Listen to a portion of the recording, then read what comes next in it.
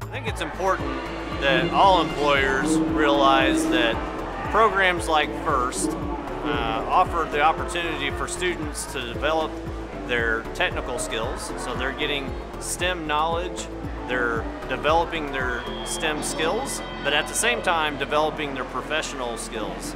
So they're learning how to collaborate, they're learning good communication skills, they're learning the importance of safety and that it's important to understand everybody's role on the team and how they impact the team with their role.